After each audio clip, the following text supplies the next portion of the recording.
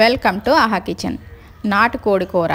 చిక్కటి గ్రేవీతో ఎంతో టేస్టీగా నాటుకోడి కూరను చాలా ఈజీగా ఉడికేటట్టు ఎలా చేసుకోవాలంటే ముందుగా ఒక ప్యాన్లో కొంచెం కారం కొంచెం ఉప్పు అంటే ఒక స్పూన్ కారం అర స్పూన్ ఉప్పు కొంచెం పసుపు ఉల్లిపాయలో ఒక పావు ముక్క ఉల్లిపాయ ముక్కలు అర కేజీ నాటుకోడి చికెన్ వేసుకుని వీటన్నింటినీ బాగా కలిపి మ్యారినేట్ చేసి పక్కన ఉంచుకోవాలి మనం పొయ్యి మీద మిగిలిన రెడీ చేసుకునే లోపు ఇలా కలిపి పెట్టుకోవాలి.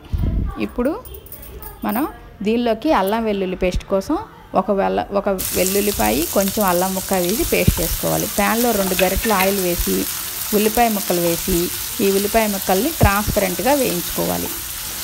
ఉల్లిపాయ ముక్కలు బాగా వేగిన తర్వాత మనం పేస్ట్ చేసుకున్న అల్లం వెల్లుల్లి పేస్ట్ని కూడా వేసుకొని దీన్ని కూడా నూనె తేలే వరకు వేయించుకోవాలి.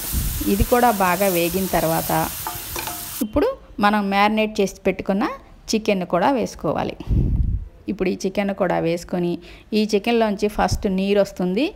ఆ నీరంతా ఎగిరిపోయి నూనె పైకి తేలే వరకు వేయించుకోవాలి మూత పెట్టి. మూత పెట్టి మధ్య మధ్యలో మ తిప్పుకుంటూ వేయించుకోవాలి. మూత తీసి కాదు మూత పెట్టి మధ్య మధ్యలో తిప్పుకుంటూ వేయించుకోవాలి. ఇప్పుడు ఒక ప్యాన్ తీసుకొని చిన్న దాల్చిన చెక్క రెండు యాలకులు నాలుగైదు లవంగాయలు అనాస్ పువ్వు. పక్కన ఉండే పెటల్స్ ఒక రెండు మూడు వేసుకొని రెండు స్పూన్లు ధనియాలు వేసుకొని ఇవి వేడెక్కించడం. బాగా వేడెక్కితే చాలు. వేయించవసరం లేదు. వేయించడం అంటే కలర్ రాకూడదు. చిన్న జాజికాయ ముక్క. బాగా కలర్ రాకూడదు. అన్నీ వేడెక్కాలి. బాగా వేడెక్కితే చాలు. ఇప్పుడు కొబ్బరి ముక్కలు. ఎండు కొబ్బరి ముక్కల్ని చిన్న చిన్న ముక్కలు చేసిన ఎండు కొబ్బరి ముక్కలు ఒక రెండు పెద్ద ముక్కలు వేసుకోవాలి. వీటన్నింటినీ బాగా వేడెక్కితే చాలు. బాగా వేడెక్కించుకోవాలి అంతేని కలర్ రాకూడదు.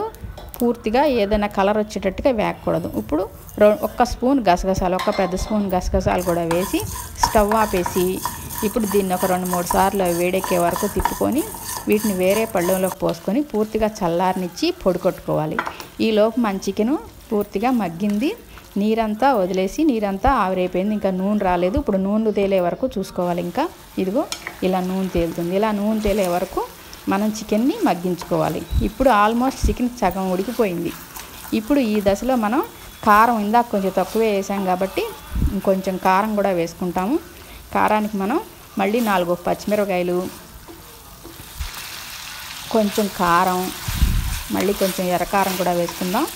కొంచెం ఎర్రకారం కొంచెం ఉప్పు ఇందాక అర స్పూనే వేసాం కాబట్టి ఉప్పు కూడా ఇంకాస్త వేసుకొని ఇవన్నిటినీ బాగా కలుపుకొని మనం పొడి చేసి రెడీగా పెట్టుకున్న మసాలా పొడిని పొడి మసాలా పొడిని కూడా వేసుకోవాలి. వేసుకొని దీన్ని కూడా బాగా కలుపుకోవాలి. ఇదిగో పొడి మసాలా పొడి వేసుకొని దీన్ని కూడా బాగా కలుపుకొని మనం ఈ చికెన్ని పొయ్యి మీద పెట్టుకున్నప్పుడే పక్కన నీళ్ళు పెట్టుకోవాలి. ఈ చికెన్లో ఇప్పుడు చల్లటి నీళ్ళు పోయకూడదు.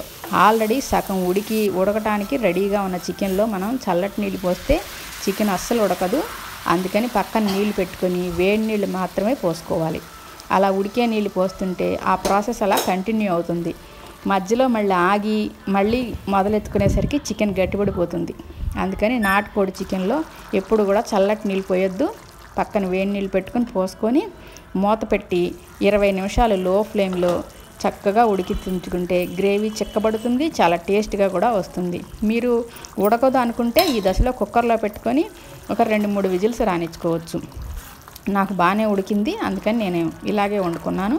ఇప్పుడు కొంచెం కొత్తిమీర చల్లుకొని మరొక ఐదు నిమిషాలు కొంచెం పలచగా ఉందనుకుంటే మరొక ఐదు నిమిషాలు చేసుకుంటే ఈ గ్రేవీ ఇలా చక్కగా వచ్చిందంటే మనకి చపాతీలోకి రైస్లోకి ఇంకా దేనిలోకైనా సరే జొన్న రొట్టెల్లోకి గారెల్లోకి దేనిలోకైనా చాలా టేస్ట్గా ఉంది. ఇదిగో చూడండి గ్రేవీ చిక్కబడింది.